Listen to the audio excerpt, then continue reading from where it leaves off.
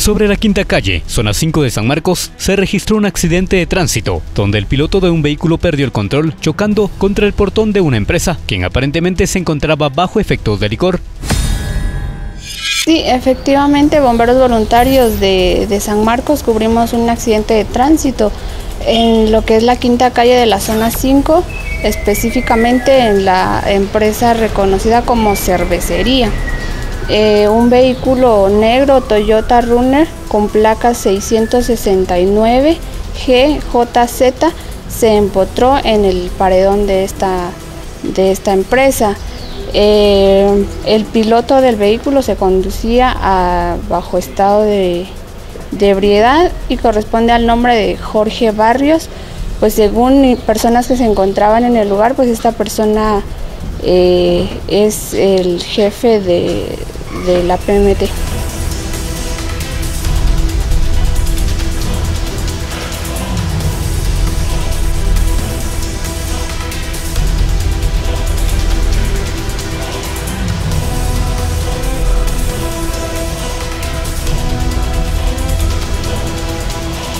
Curiosos en el lugar indicaron que ya son varios accidentes registrados sobre este sector. También mencionaron que Jorge Barrios, actual jefe municipal de tránsito de San Marcos, conducía a excesiva velocidad, perdiendo el control de su vehículo, ocasionando serios daños. Cabe resaltar que Barrios, con sangre en el rostro y en supuesto estado de ebriedad, se negó a ser atendido por bomberos voluntarios. Eh, pues a simple vista él presentaba heridas y golpes en lo que es eh, la cara y la cabeza, pero él se negó a ser atendido y trasladado al hospital.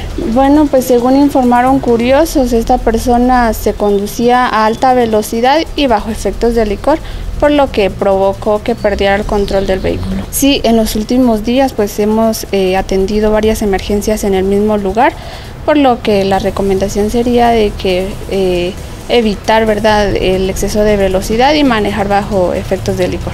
Al lugar se hicieron presentes agentes de la Policía Nacional Civil, quienes pusieron a disposición del juzgado al jefe de la Policía Municipal de Tránsito para arreglar su situación legal.